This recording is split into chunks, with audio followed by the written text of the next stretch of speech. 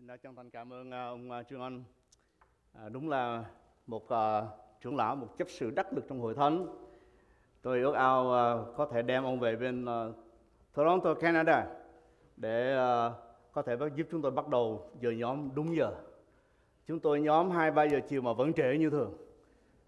Trong khi đó có bị nhóm 9 giờ sáng mà vẫn sớm, vẫn đúng giờ. Và tôi nghĩ rằng một phần lớn là do con cái Chúa tích cực đi nhà thờ sớm, trung tín mà nhất là người hướng dẫn. À, đó là một bài học tôi học rất là quý giá từ hội thánh nhà của mình ở tại Nam Florida đây. Trân trọng kính chào tất cả quý vị chấp sự cũng như toàn thể hội thánh. Quý anh chị em đã yêu thương và cho tôi được cái cơ hội để hầu với Chúa trong suốt thời gian uh, nhiều tuần lễ qua. Đây là lần đầu tiên tôi được về thăm nhà mà được ở lâu như thế này chưa bao giờ tôi đi từ Toronto, Canada về đây mà mua vé một chiều. Đây là lần đầu tiên tôi mua vé một chiều đi mà không biết ngày về. Không cần biết ngày về. Đã thiệt. Đã thiệt. Nhưng mà rồi cuộc vui nào cũng có lúc tàn. Ngày chấm dứt cũng sắp đến. Thứ tư này tôi sẽ lên đường để về lại bên Toronto, Canada Cảm ơn lòng yêu thương quý mến của quý vị và sự nâng đỡ trong suốt thời gian qua. Xin chuyển qua PowerPoint của bài giảng dùm cho Anthony, please.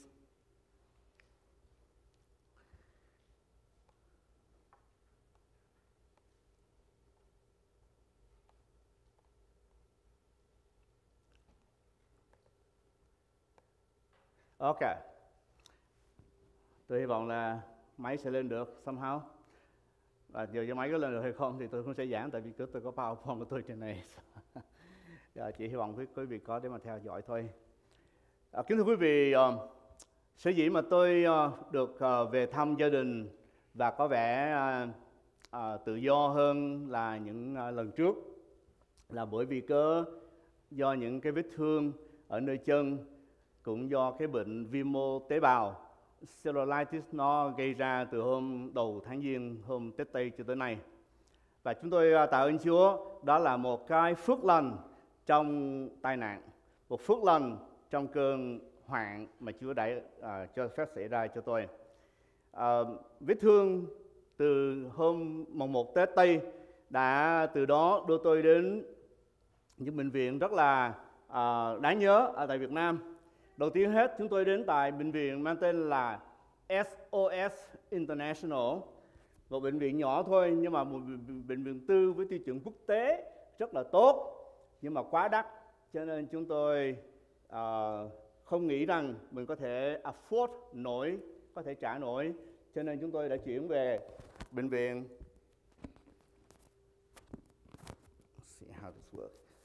Chúng tôi đã chuyển về à, một bệnh viện khác mang tên là bệnh viện Vạn Hạnh, à, một bệnh viện tư. Rồi sau đó chuyển qua bệnh viện gọi là Chợ Rẫy và cuối cùng chuyển qua bệnh viện Pháp Việt. Và nơi đó chúng tôi đã nhận được những cái sự uh, tiếp đón rất là nồng hậu và những sự giúp đỡ rất là thiết thực. Uh, tôi nói như vậy để cho quý vị thấy được cái nỗi khổ của tôi khi mà tôi chuyển từ bệnh viện Pháp Việt ở Việt Nam, ở Sài Gòn, Việt Nam về lại ở một cái bệnh viện cũng rất là lớn và nổi tiếng ở tại Toronto, đó là bệnh viện Malcolm Stoville. Quý vị có bao giờ trải qua những cái khó khăn trong đời từ cái chỗ gọi là lên voi rồi xuống chó không? Trong đời chúng ta không khỏi những cái thăng trầm như vậy. Và chúng ta làm gì khi chúng ta đối diện với những cái cảnh ngộ nó đảo ngược như vậy. Càng sung sướng, càng hạnh phúc, càng dư giả bao nhiêu, thì khi mà mình bị lâm vào những cơn gọi là xa cơ thất thế đó, thì mình sẽ thấy cái niềm đau nó tột cùng hơn và chúng ta sẽ đau lòng không thể tưởng tượng được. Chúng ta làm gì trước những cái cơn điều đứng đó? Riêng về phần tôi thì đó là cơn điêu đứng đầu tiên tôi đã phải trải qua khi tôi vừa về lại Canada. Quý vị đây đã cầu nguyện rất là nhiều cho tôi trong thời gian ở tại Việt Nam và một trong những điều cầu nguyện nhiều nhất mà tôi tưởng hội thánh này cũng như tất cả thánh khác kể cả hội thánh nhà của chúng tôi tại bên Toronto, Canada là cầu nguyện sao cho mục sư có thể chóng rời được Việt Nam để về chạy chữa bên này. Tại vì cứ lý luận của chúng ta là ở bên này luôn luôn the best. Amen. Mỹ, Canada là số một trên thế giới and undoubtedly lẽ nhiên điều đó là quả thật như vậy. Nhưng mà thưa quý vị, tôi về Canada rồi, tôi không biết bên Mỹ này sao tôi về Canada này tôi thất vọng ê chề. Cái thất vọng của tôi nó đến từ nhiều lý do. Nhưng mà quý vị có coi, có xem qua bài thơ tiếp theo đây, quý vị mới thấy được. I do need a PowerPoint. Thank you. Uh, thì thì chúng ta mới có thể thấy được cái uh, lý do tại sao mà tôi cảm thấy điều đứng. Tôi đã sáng tác uh, một vài bài thơ uh, trong thời gian ở bên đó. Và thank you cảm ơn. Và một những bài thơ đó mang tên là Pháp Việt nói về cái bệnh viện mà tôi đã được uh, điều trị cuối cùng hết. Uh, 28 ngày ở tại Việt Nam nằm trong bệnh viện. Kể từ ngày 9 tây tháng Giêng cho tới ngày 29 tây tháng Giêng tôi được điều trị ở tại bệnh viện này. Và đây là bài thơ tôi đã sáng tác để cho quý vị thấy được cái đẹp của bệnh viện này nhất là những uh, y tá viên và những uh, người uh, điều dưỡng và những người uh, hộ lý. Làm cho tôi rất là thương và mến và phục những cô y tá Việt Nam tại Việt Nam cũng như tại tại Mỹ tại Canada đi. Và tôi rất là hãnh diện trong nhà của chúng tôi đã có uh, ít nhất một vài người y tá trong đó có Thanh Vân tại đây cũng như có đứa cháu. Uh, con của sư Dương là cháu Tường Vi Victoria mới vừa tốt nghiệp xong cử nhân về ngành uh, y tá và đang làm việc tại một bệnh viện ở bên đó. Bài thơ này nói lên cái đẹp của những cô y tá của những nhà của những cô uh, hộ lý tại đó. Và thơ bắt đầu như vậy gần cả tháng giam mình nơi bệnh viện. Cái này nó rớt hoài ha. Nơi bệnh viện xin lỗi tôi xin đọc lại. Gần cả tháng giam mình nơi bệnh viện khởi hành từ SOS lừng dân rồi từ đó tôi chuyển sang vạn hạnh chốn từ bi chợ rẫy cũng không xa nơi chợ rẫy hai trũng sâu invest từ cổ chân lên đến lên suýt đến đùi ta nơi chốn ấy ta an lòng sao đặng nên chuyển về Pháp Việt gửi tàn chân. Nơi chốn ấy, bác, bác sĩ, nơi chốn ấy bác Vĩnh Khiêm lanh lẹ, cắt lọc liền những hoài tử ngoài da. Ngày hôm sau, bác Phát cũng ra tay làm sạch hết những cơ mô tử hoại. Sau giải phẫu là chữ ngày máy hút, quân vác gì làm tê bút châu thân, cột ta lại trên giường không lối thoát, suốt ngày đêm chỉ biết bấm chuông la. Nào điều dưỡng, nào ân cần hộ lý, hết chạy vào rồi lại đến chạy ra. Bao nhiêu người khổ cực cũng vì ta, nằm một chỗ trông chờ ơn quảng đại. Cầu xin Chúa ban cho trân, cho thủy, cho thấm, cho sông, cho cả hương giàu, dung trọng hiền cả tuyền mi lẫn thảo, cả bác liên nhiều ơn phước bao la cho cả đám cùng hân hoan chung bữa, cho phỉ lòng nhân ái đã ra tay. Cứu thân tôi, cứu bao kẻ bệnh nan, rời bệnh viện trong hân hoan vui thỏa. Tôi cảm động cho đến mức độ mà tôi đã dành ra một số tiền khá lớn để tôi tặng cho bác sĩ và nhờ bác sĩ vui lòng mở một cái party cho tất cả những nhân viên nào có thể dự được để có thể chung vui với tôi trong ngày tôi rời bệnh viện.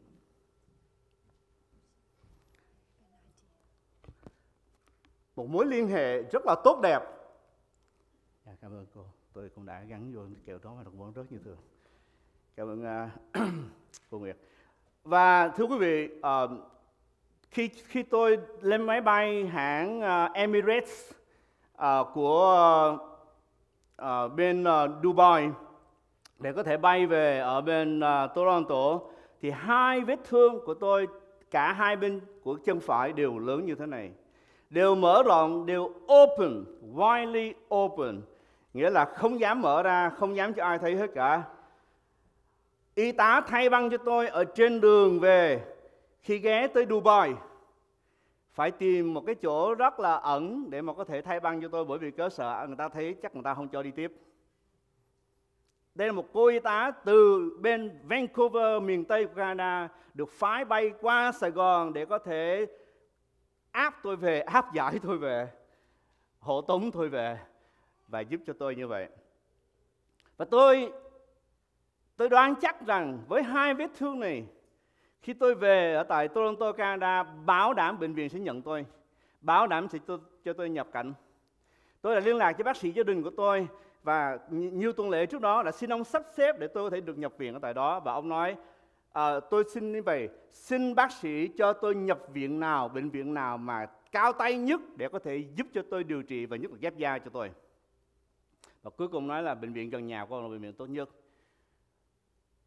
Từ phi trường tôi cho taxi uh, limousine của ờ, hãng uh, bảo hiểm nó phái tôi chở thẳng tới bệnh viện cùng cô y tá. Cô y tá cẩn thận ở với tôi đến tối giao tôi hẳn cho bệnh viện rồi mới lên đường bay về Vancouver. Nhưng mà quý vị ơi 11 giờ đêm hôm đó Hà bảo ông về đi. Tôi nói what? My my leg? Chúng tôi như vậy mà rồi về ở bên bệnh viện, ở bên Việt Nam á hả, là tôi được chăm sóc từng ly, từng tí. Tất cả những cái gì mà người ta dùng ở trong cái phòng tôi đang điều dưỡng đó là đều được sterilized. Đó là tẩy trùng cách cẩn thận, gói ghém cách cẩn thận, mở ra cách cẩn thận, bao tay, rồi bịt mũi, rồi gao, rồi đầu có nón, đầy đủ hết cả. Bây giờ có ông cho tôi về? Rồi cho y tá tới nhà để chăm sóc và khi y tá tới nhà để chăm sóc tôi kể cho quý vị nghe rồi. Cô y tá đầu tiên đến chăm sóc vào trong phòng của tôi trên lầu rút tay uh, bỏ tay trong cái túi của cái áo khoác ngoài của bà rút ra một đôi găng tay mà không có bao gì hết cả không có được bọc lại. Và dùng đôi găng tay đó để mà mở vết thương của tôi và băng vết thương lên cho tôi rửa vết thương của tôi và băng băng vết thương lại cho tôi. Tôi nói ở bên kia không bị nhiễm trùng về đây cũng bị nhiễm trùng thôi à. Tôi đau lòng tôi đau lòng wow anyway So, quý vị làm gì trong những hoàn cảnh tương tự như vậy thưa quý vị? Quý vị làm gì? Quý vị làm gì khi mà thế giới nó có vẻ đảo lộn và nó có vẻ giống như là uh, làm chúng ta thất vọng như vậy? Tôi xin đọc từ Habakkuk cái câu mà chúng ta sẽ lấy làm câu gốc hôm nay. Đó là này lòng người kiêu ngạo không có sự ngay thẳng trong nó, xong người công bình thì sống bởi đức tin mình. Chúng ta lấy cái chủ đề hôm nay là vui sống bởi đức tin. The joy of living by faith. Và lần nữa chúng ta trở về với tiên tri Habakkuk. Tiên tri Habakkuk đã làm tiên tri cho Đức Trời ở từ vương quốc ở miền Nam, tức là Juda ở phía dưới này. Israel đã bị lưu đày qua phía phía bắc Assyria tới sắp sửa tới phiên Juda và Juda sẽ là người tiếp theo để mà bị lưu đày qua xứ Babylon trong thời đại của chính ờ, uh, Jeremy cũng như là tiên tri uh, Habakkuk này. À, tôi xin mời quý vị cùng đứng lên chúng ta đọc qua một vài câu kinh thánh từ Habakkuk chương thứ hai. Xin cùng, cùng đọc chung với tôi. Ta sẽ đứng nơi vọng canh, chôn chương nơi đồn lũy, rình xem Ngài bảo ta điều gì và ta trả lời thế nào về sự đối nại ta. Đức giê va đáp lại cùng ta mà rằng, Ngươi khá chép lấy sự hiện thấy và rõ rệt nó ra trên bảng hầu cho người đương chạy đọc được. Vì sự hiện thế còn phải ứng nghiệm trong kỳ nhất định, sau cùng nó sẽ kiếp đến, không phỉnh dối đâu. Nếu nó chậm trễ, ngươi hãy đợi, bởi nó chắc sẽ đến, không chậm trễ.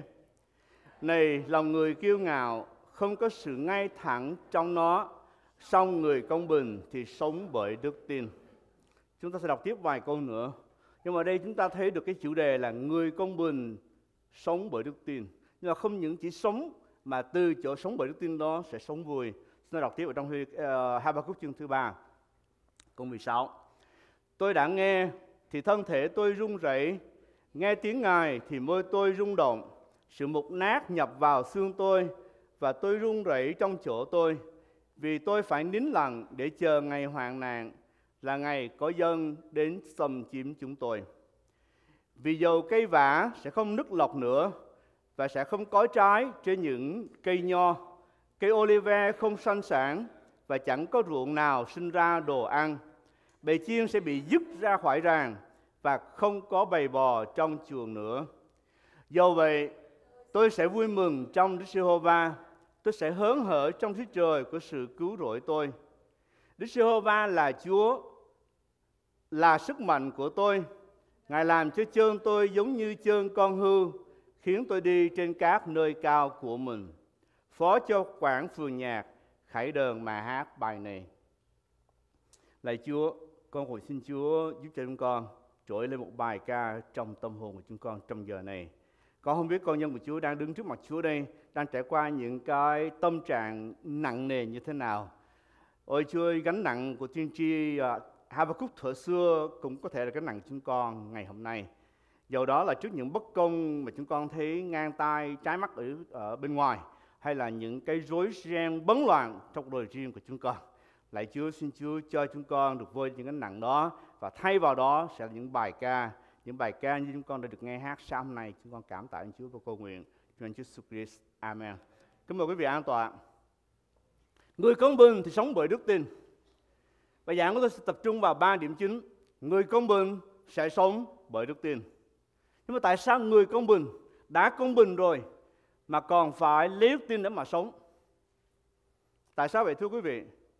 Lý do tại vì cơ thứ nhất, người công bình nhưng vẫn còn bệnh. The righteous being righteous and yet still being broken. Những chữ R này rất là dễ nhớ. Righteous and broken, they seem to go together. Công bình nhưng còn bệnh. Alright, công bình nhưng còn bệnh.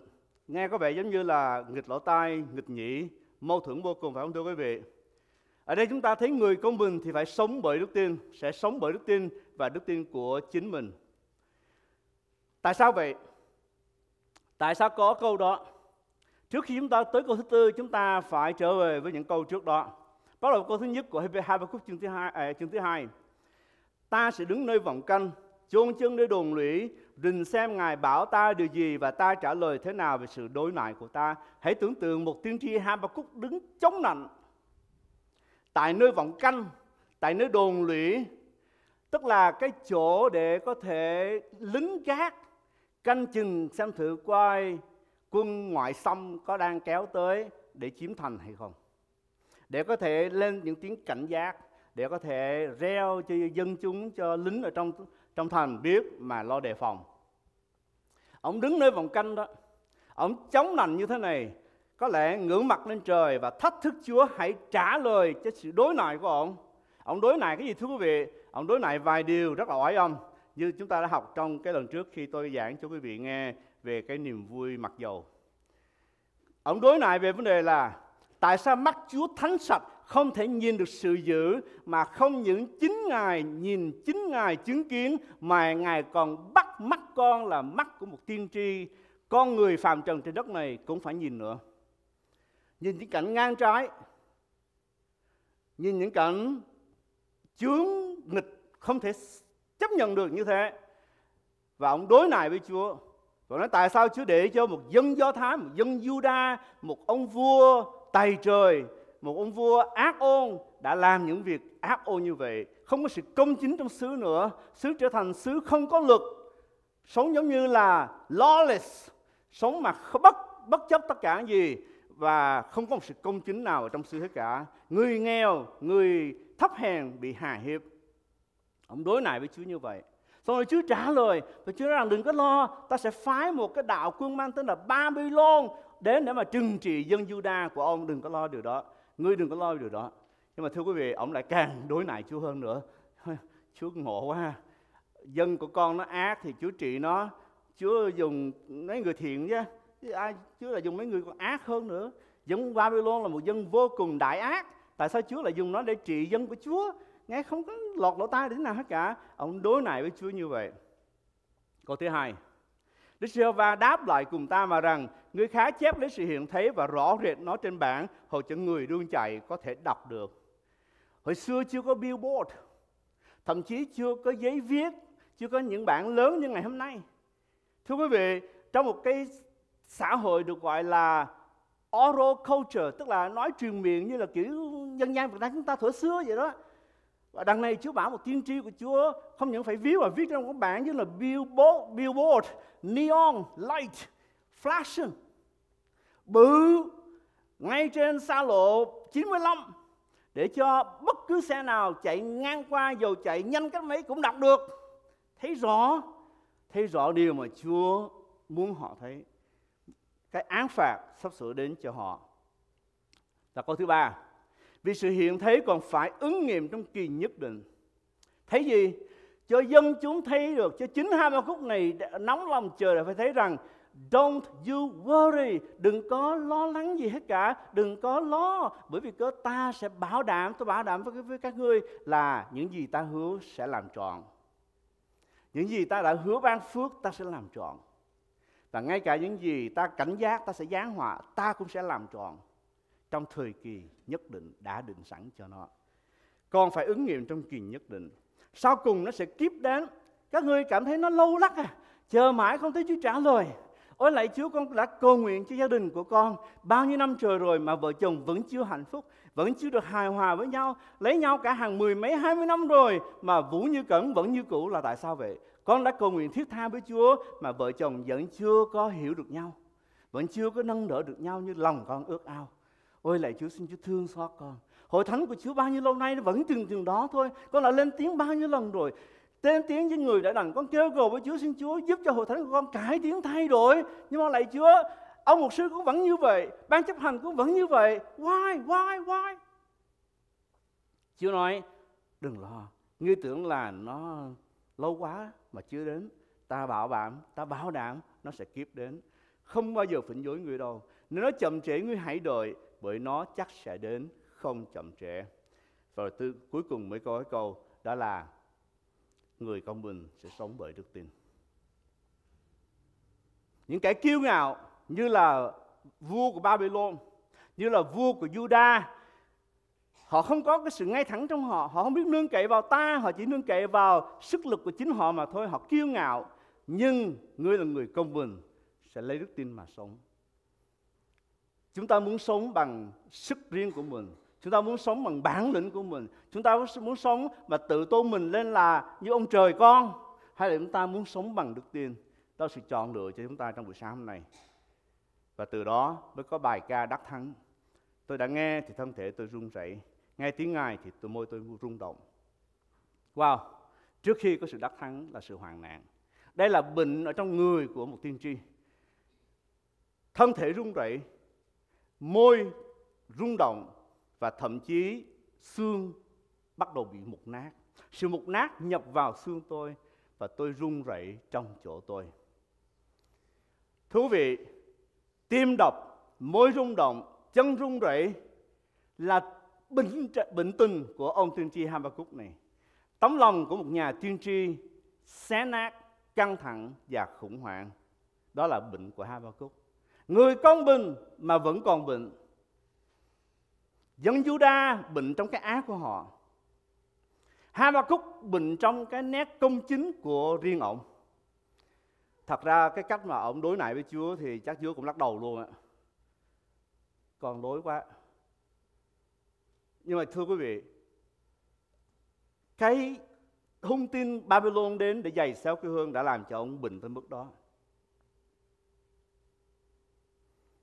Cuộc đời chúng ta có những cái tin xét đánh và chúng ta không ngờ đến với chúng ta.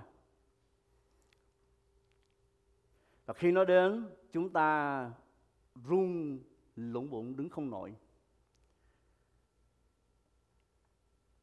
Một đạo quân Babylon đến để tiêu diệt chân Juda của Ngài. Quý vị ơi, quý vị có thể đã tin Chúa rồi. Quý vị có thể đã được Chúa kể là công bình, đã được xưng nghĩa đi chăng nữa. Chúng ta có còn bệnh hay là không?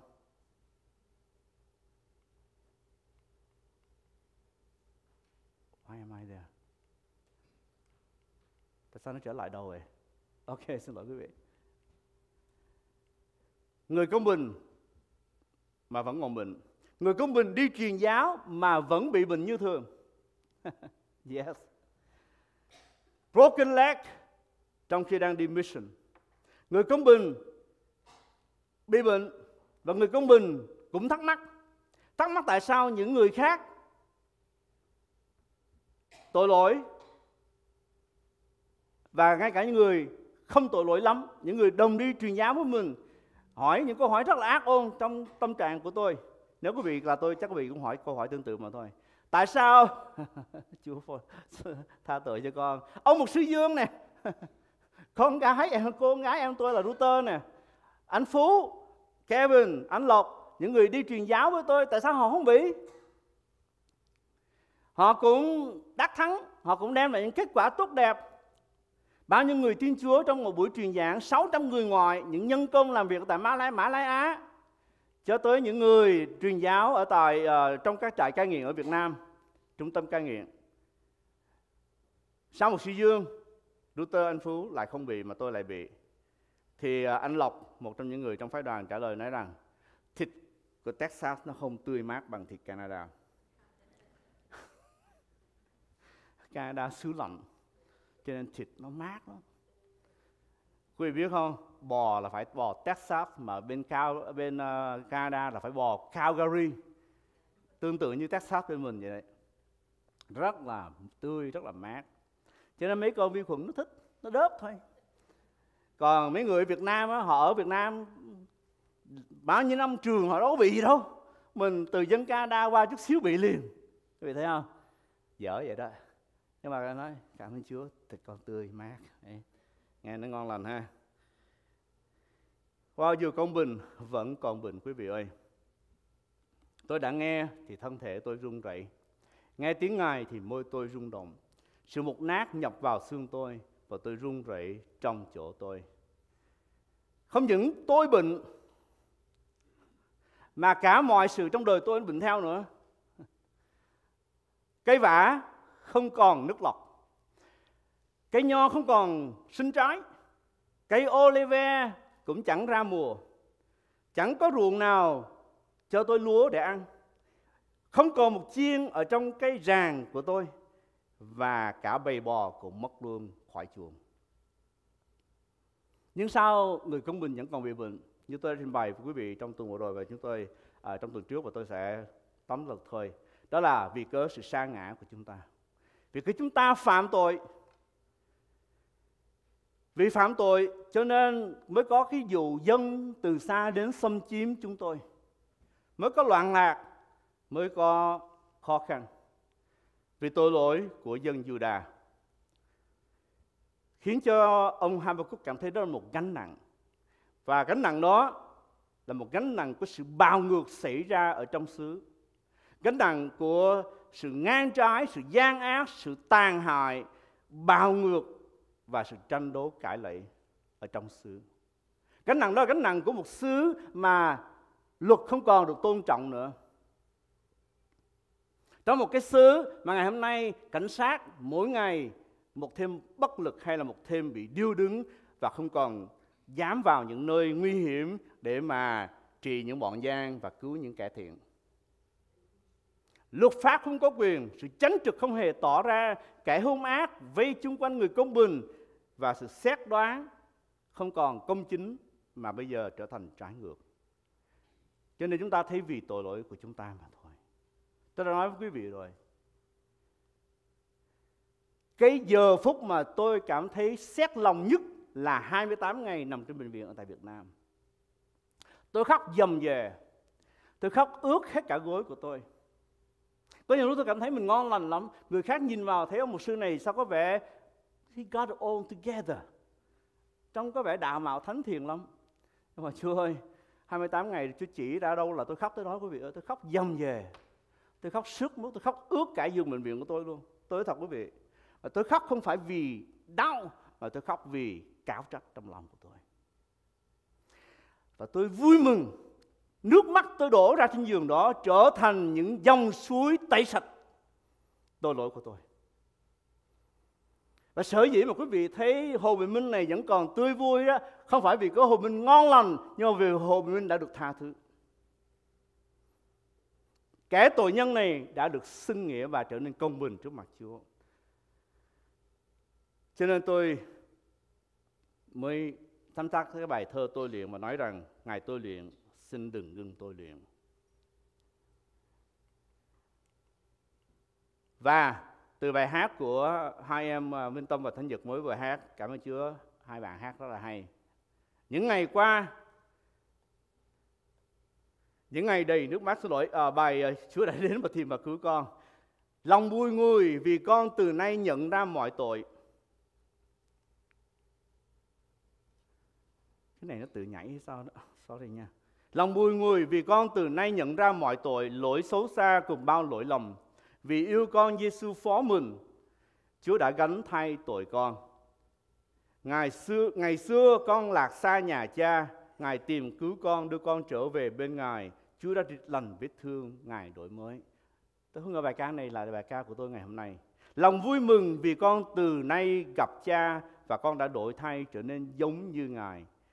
Ngài lòng con luôn bình an, vui mừng, sức sống cha luôn trào dâng. Ôi, đó là tâm trạng của tôi trong thời gian ở đó. Tội lỗi được Chúa thanh tẩy, người tội nhân trở nên công bình trước mặt Ngài. Nhưng mà lý do thứ hai là bởi vì cớ Satan because of Satan trong đời sống của chúng ta nữa. Không nhất thiết tất cả mọi hoàn nạn, đau ốm xảy ra là do tội lỗi của mình phải chuốc lấy. Nhưng mà vì cớ Satan là một cái bàn tay ném khi uh, giấu à, khi lắm khi ném đá mà giấu tay trong cuộc đời chúng ta. Chúng ta không tài nào có thể phát hiện ra được. Ông gió là một trường hợp điển hình như quý vị đã được nghe tôi giảng sơ qua. Là một người công bình một người mà Chúa gọi là vốn trọn vẹn ngay thẳng kính sợ Chúa Trời và lánh khỏi điều ác như Gióp lần thứ nhất câu thứ 8 cho chúng ta thấy. Không những vậy mà Chúa còn khoe tiếp là dù có mình như vậy nhưng mà bây giờ hãy giơ tay Chúa ra đụng đến hại các vật người có. Satan là tác giả đến sau những cái mất mát của Job. Bảy con trai, ba con gái, bảy ngàn con chiên, ba ngàn con lừa, năm trăm đôi bò, bao nhiêu là tôi trai tớ gái. Tất cả những cái đó Job mất là bởi vì cớ Satan đã nhúng tay vào. Satan khiếu nại và nói rằng này các vật người có đều phó trong tay người. À, Đức, Đức giê va cho phép Satan đụng tới Job nhưng chớ tra tay vào mình nó. Job được Chúa khen không những một lần mà tới hai lần. Đoạn thứ nhất xong rồi có đoạn thứ hai. Chúa lại khen một lần nữa bởi vì cơ Satan trở lại khiếu nại tiếp. Cái chiêu mà tung ra những cái hại ở trên tài sản của Job không đụng tới mình ổng chẳng nhầm gì hết cả Chúa lại khoe lại, khoe lại và Chúa nói gì?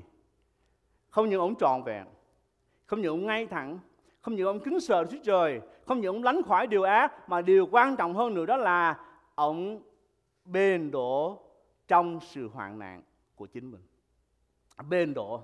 Vấn đề không phải là chỉ được một ngày, hai ngày, một tháng, hai tháng, một năm, hai năm đầu. Theo Chúa.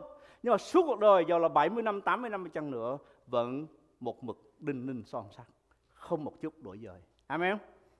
Đó là con người toàn vẹn của ông Gióp, được Chúa khen như vậy đó. Bao nhiêu người trong chúng ta được Chúa xác chứng như thế? Có thể chúng ta không muốn được toàn vẹn như vậy, lỡ Chúa cũng dán những cái cơn tai họa xuống như là kiểu Gióp bị chăng? Và thưa quý vị ơi, chúng ta thường quan tâm đến những gì người khác nghĩ về mình. Chúng ta há chẳng quan tâm đến điều Chúa sẽ nghĩ về chúng ta sao? Hãy tưởng tượng chúng ta được Chúa khen mình là trọn vẹn, công nghĩa, lánh ác như Ngài đã từng khen Gióp. Và nhờ đó thiên hạ mới thấy rằng hoạn nạn ta gánh chịu ngày hôm nay có lẽ có thể lắm chẳng phải vì cớ ta đáng bị vì ta thật chẳng làm gì tội lỗi. Dạ, yeah, Chúa xác nhận ông là bền độ trong mọi sự trọn vẹn của mình. Thiên Hà có thắc mắc tại sao chúng ta bị lâm nạn, bị mất mát, bị trần ai tới mức đó. Chưa lắc đầu và nói rằng nothing, nothing wrong, hoàn toàn vô cớ.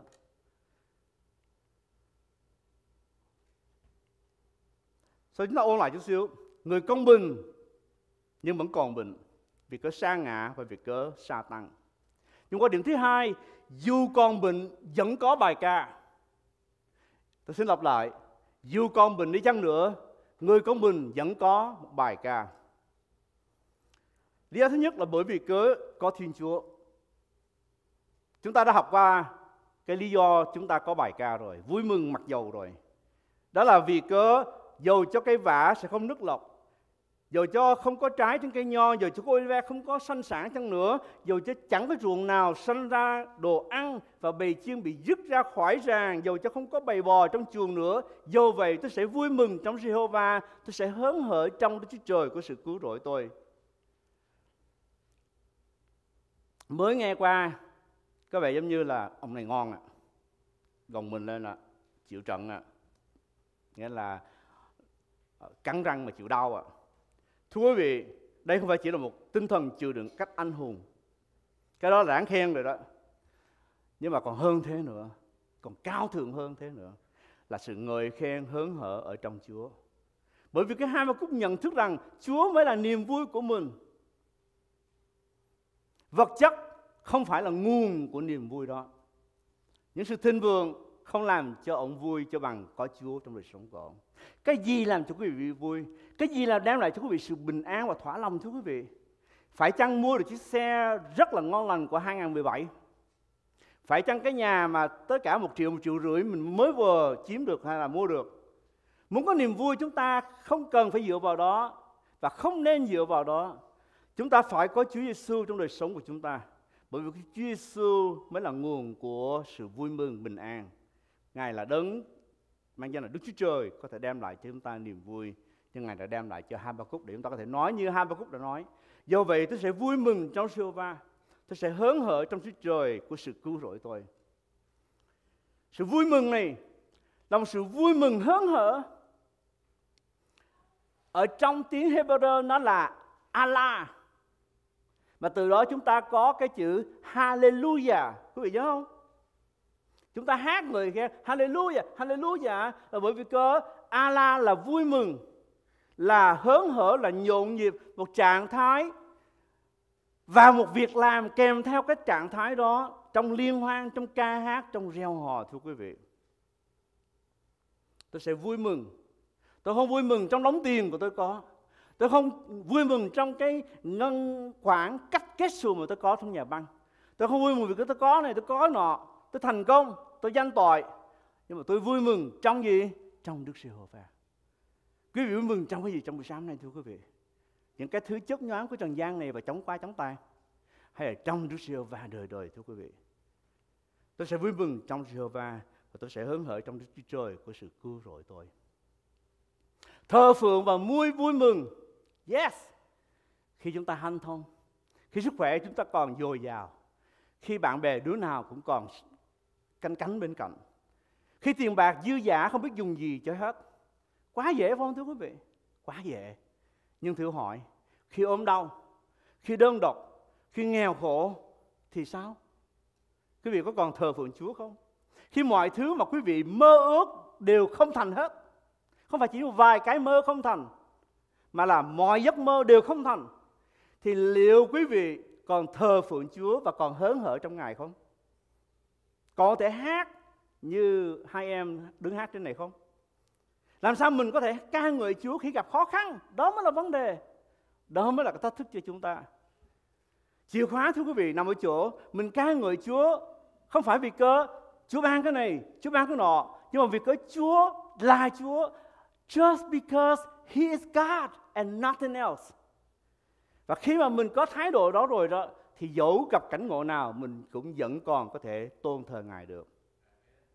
Nếu mối liên hệ của chúng ta với Chúa lệ thuộc vào những gì Ngài ban cho chúng ta, thì khi Ngài lấy nó đi đó, thì chính vì chúng ta từng thờ phượng, không thật vì cớ Ngài là Ngài, nhưng chỉ vì cớ gì Ngài ban cho chúng ta, rất khó để chúng ta có thể hớn hở trong Ngài. Amen. Bài toán rất là dễ tính ra, thưa quý vị. Cho nên Job nó biết được cái tâm lý của người là như vậy. Mọi sự hanh thông, hallelujah. Mà trắc trở chút xíu rồi sao? Bắt đầu à, nguyền nguyền rủa. Thắc mắc à, hỏi Chúa đủ thứ câu hỏi hết vặn hỏi Chúa xin lỗi vặn hỏi Chúa Hai ba Habakkuk gọi là đối nại đó đối nại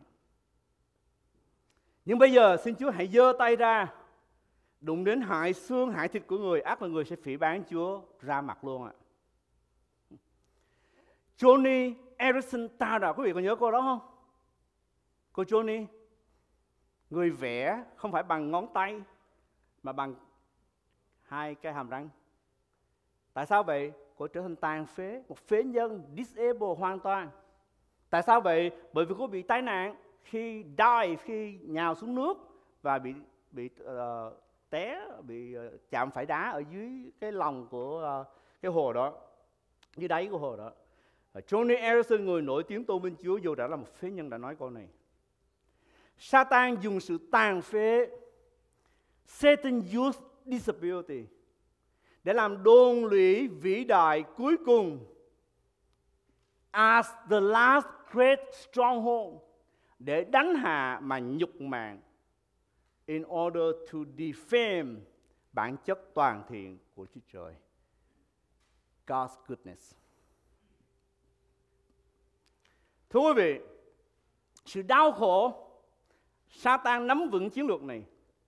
Sự đau khổ mà chúng ta phải gánh chịu trong đời này là tiền đồn cuối cùng Satan sẽ tìm cách đánh hạ cho được để có thể làm nhòa những việc Chúa làm trong đời sống của chúng ta và làm chúng ta bớt tin cậy Ngài.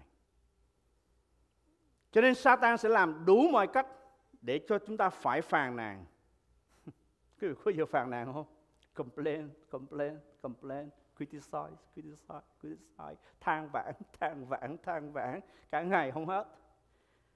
Ôi, Chúa nhân lên là để con sinh ra với tật nguyền thế này thì vô lý quá. Làm thế nào một Chúa nhân lành là để một tôi tới Chúa, một mục sư bị vi khuẩn cắn nát tới mức đó? Làm sao tôi có thể tin được Chúa trong khi Ngài cho phép bệnh ung thư, bệnh hư thận, đau tim có mặt ở trong chương trình của Ngài đã định cho cho tôi? Mục đích của Satan là làm cho chúng ta nghi ngờ tánh toàn thiện của Chúa, nghi ngờ con người của Chúa, nghi ngờ bản chất của Chúa, để rồi từ đó giảm bớt lòng thờ phượng Chúa trong chúng ta. Amen. Khôn quá, tinh rành quả Làm chúng ta phải thắc mắc về cái sự nhân từ, nhân lành của Chúa, để rồi sự vinh hiển của Chúa trong đời của ta bị chập tắt từ từ. Cho nên hắn đã đòi Chúa cho phép hắn đụng tới thân thể dù không thể đụng tới tánh mạng của ông Gióp và Chúa đã cho Satan toàn quyền đụng tới miễn là không làm cho ông chết mà thôi. Và cuối cùng ông bị một bệnh ung độc từ bàn chân cho đến chót đầu đến đổi dùng miếng sành đặng gái mình mà vẫn không đã ngứa. Đây là một trong những hình ảnh kinh khủng nhất trong cả kinh thánh thưa quý vị. Quý vị có bao giờ nghĩ tới những gì gió phải trải qua không? Nhất là bệnh trong người của ông. Chúng ta chỉ nghĩ tới bảy đứa con trai, ba đứa con gái cùng một lúc chết trong một, một ngày. Có đau đớn không ạ? No. Satan biết cuối cùng cái chiêu một đó Satan nói doesn't work. Ông giận phải vay ra. Ông này cũng bình quá đi thôi. Nhưng mà đụng tới da đến thịt của ông hả? Khỏi nói luôn á. Không, quý vị biết cái đó mới là kinh khủng. Quý vị biết ông có thể bị bệnh gì không? Wow. Đây là một số bệnh mà tôi nghĩ là ông đã, đã có thể bị. Bệnh sùi da. Bệnh phun. Bệnh vẫy nến. Da nó tự nhiên nó mọc ra. Cái chỗ đó cái da nó mọc cấp nhanh gấp 10 lần những cái chỗ cái da khác những cái đây, đây là y tá bác sĩ có biết rõ điều đó và nó mọc ra như vậy thì làm cho hư da và nó làm cho lên vẫy nến như vậy hay cũng có thể lắm bị viêm mô tế bào cellulitis maybe chúng ta không thể biết chắc là ông giáo này bị bệnh gì kinh thánh chỉ cho biết là ông bị một bệnh ung độc từ bàn chân cho đến chót đầu ung độc đau rát cái bệnh ung độc này là một trong những tai vạ, tai vạ thứ sáu mà Chúa Giê-hô-va đã giáng xuống ở trên nhân Ai Cập. Quý vị còn nhớ không? Thời của Môi-se. Ồ, khó chịu lắm thưa quý vị. Trong nhiều tháng trời liên tiếp, tôi có những đêm không ngủ được. Tại vì cái nó ngứa quá mà không gãi được. Tại vì cái nó băng một cái lớp băng dày thế này để mà cho cái máy mà xin nó hút nó cái quân vác nó vô đó. Không không nhét tay vô được để mà gãi. Ở bên ngoài vỗ mấy cũng chẳng nhầm gì hết cả khổ ơi là khổ đó là cái bệnh ung độc thưa quý vị ơi ôi cha lại chúa xin cho con sống qua khỏi cơn này Gióp lấy một viếng sành đang gãi mình và ngồi trong lòng trò. Nhưng đó chỉ mới là khởi điểm. Khi chúng ta đọc tiếp theo những chương khác nữa, quý vị sẽ thấy nỗi khổ trên trên gió Mặt biến dạng không nhìn ra nổi nữa đoạn 2. Đoạn 3 ăn không biết ngon. Đoạn 7 ngủ không được. Dòi bám vào các vết thương. Vết thương thì đầy mũ. Và thời đó thì no wound vac. Khó thở. Mí mắt thì thâm đen. Bị hôi miệng. Bị bad breath. Thảo nào bà gióp chịu không nổi là phải rồi. Sút cân. Chỉ còn da bọc xương. Đoạn 30 đau trường kỳ không nghỉ ngơi chi được. Bị sốt kinh khủng và đây là tình trạng của Job. Quý vị đã từng bị đau tới tới mức nào? Satan có thể chỉ muốn hạ bệ sự vinh hiển của Chúa, nhưng chúng ta sẽ phải chịu đau khổ vì nó. Tôi biết Chúa có chương trình cho tôi. Lắm người đã nhắc nhở tôi về điều này để khích lệ tôi. Một sự đừng có lo. Chúa có một chương trình rồi Chúa sẽ dùng một sư còn hơn thế nữa. Nhưng có những lúc tôi đau quá, tôi không khỏi thắc mắc không khỏi tránh khỏi những cái tình trạng bất an.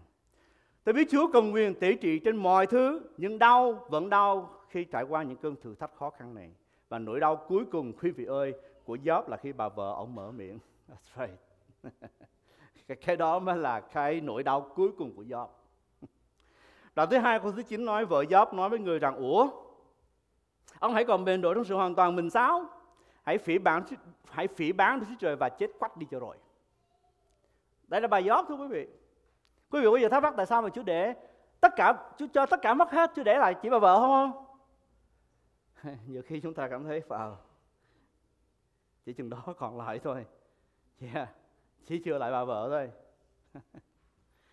Tôi không tài nào hiểu được từng trải này bởi vì cớ trường hợp tôi thì nó khác à, quý vị thấy uh, đệ nhất phu nhân của tôi không wow breathtaking beauty Huyền Châu. Khi tôi lâm nạn, Châu trở thành tảng đá vững của gia đình. Khi tôi về, như tuần lễ dài liên tiếp, mỗi buổi sáng là đi cả khập khểnh, chân bị đau, khớp xương, arthritis, rheumatoid chứ không phải dở đâu. Nấu, đi trước khi đi làm 9-10 giờ sáng là phải đem lên tút trên lầu cho tôi breakfast in bed. Tôi sống như ông hoàng vậy đó quý vị ơi. Ngon lành như thế này. Chân khập khởi như vậy đó. Và tôi tôi tôi hình dung cái, cái cái cảnh này. Đáng lẽ tôi phải cổng bả. Mà đằng này bả lại cổng tôi. Oh, thương em quá. Hết sảy còn ông giót ông không được may mắn với tôi. Ông cần phải có bà mắc dịch. Quý vị nghĩ bạn mắc dịch không? Ai cũng cho bạn mắc dịch hết. Lịch sử đã từng cho bạn mắc mắc dịch. Bao nhiêu độc giả của sách gió từ xưa nay đều cho là như thế. Thậm chí ông thánh Augustine cho bà là một kẻ biện hộ cho Satan. The devil's advocate. John Chrysostom một giáo phụ khác gọi bà là tay sai của Satan và là cái họa tệ hơn cả bệnh cùi luôn John Calvin thì gọi bà là hiện thân của Satan. The embodiment of Satan. Tôi không biết là nhà cải chánh Martin Luther thì nói gì về bà, không dám tra cứu thêm. Nhưng mà chắc cũng dễ dễ dễ sợ lắm. Thưa quý vị, chúng ta phải thông cảm với bà Gióp. Cùng một ngày cũng như ông chồng, bà mất 10 đứa con đúng không ạ? Bà nổi khùng là phải thôi. Phải thông cảm với bà chứ. Và ông chồng đang thành công, bây giờ đi xuống ông công còn đâu những ngày hạnh phúc. Cho nên bà trách ổng là phải thôi. Bà than vãn cũng là phải thôi. Tôi không bên vực bà.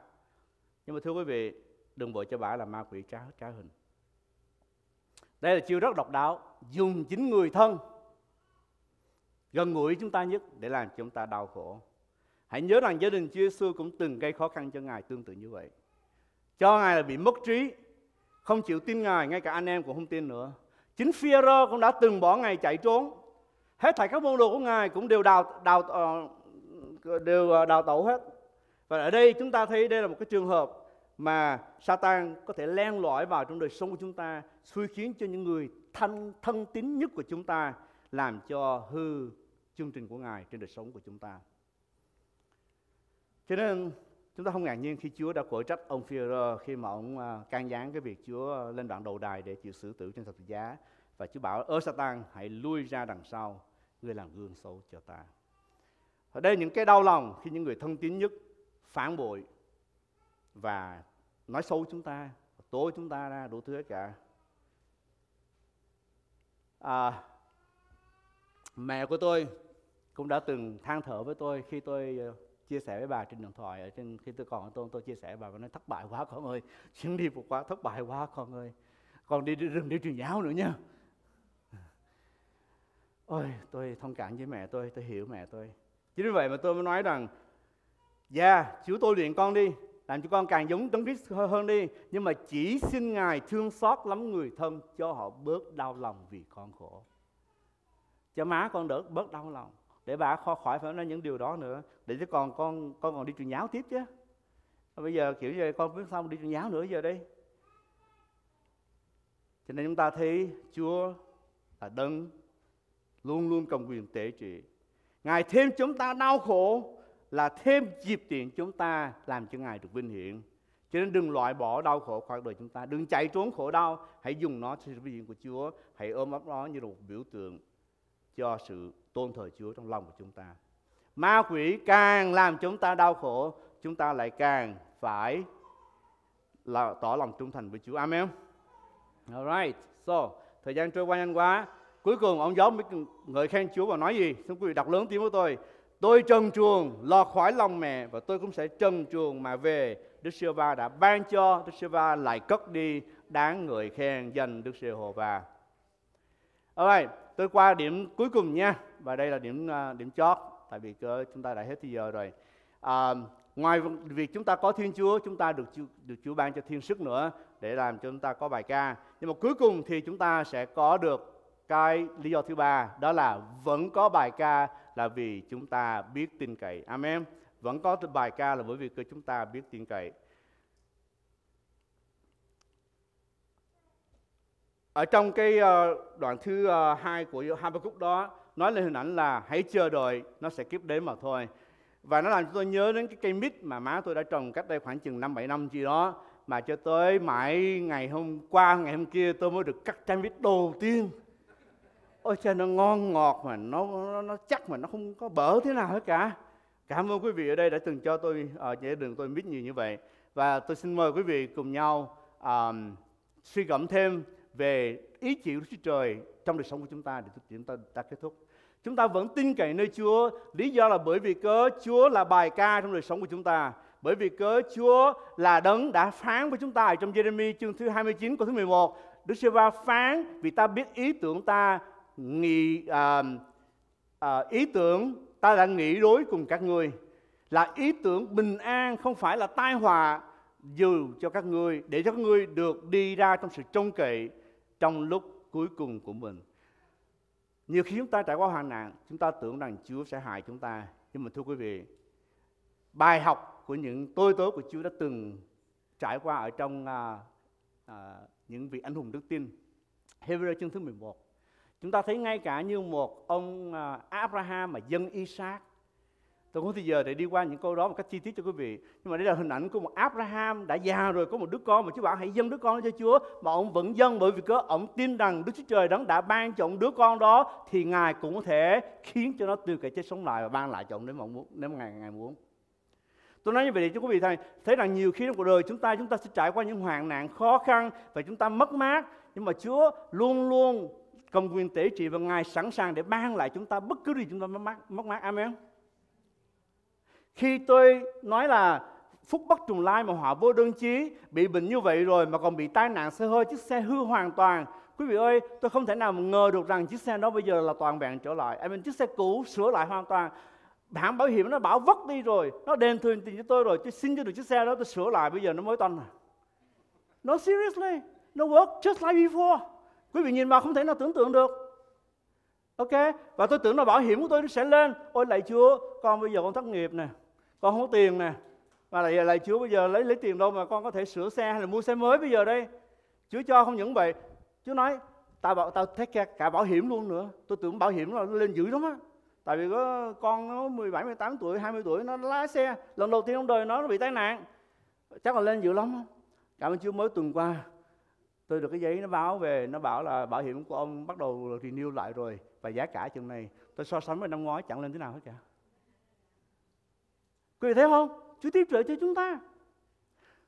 Tôi về đây, tôi gặp con cái của Chúa tại đây, nhiều người thương tôi và cho tôi từ trái cây, cho tới những cái hiện kim. Và quý vị ơi, ai có thể ngờ được rằng một con cái Chúa trong hội thánh lại biết rằng một sư này cần một cái laptop mới, và đây là cái laptop brand new. Like a tablet. So cool. Tôi làm gì mà có tiền mua được mấy cái thứ này nhưng mà trong lúc này?